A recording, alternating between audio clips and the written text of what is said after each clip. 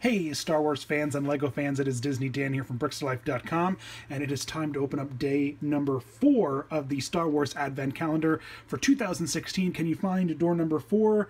It's far, far away up here in a galaxy. Well, I said that backwards, didn't I? That was silly. Oh, it's another TIE fighter.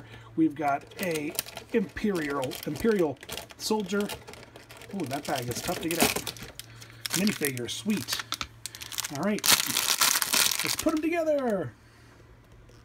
Tilt the camera down. Pretty sure this is an, an Imperial uh, soldier, right? Imperial, maybe it's a pilot? I don't think it's a pilot. He's got a blaster. Maybe it's a pilot. I'm not sure. Put the uh, legs on there. Click the head on. Click the helmet on. And then give him his blaster. Pretty rad dude. That's a pretty fun minifigure. I love the helmet. That's very cool. I dig it. So there you go. There is day number four for the Star Wars Advent Calendar for 2016. Check back tomorrow for day number five. Thanks for watching.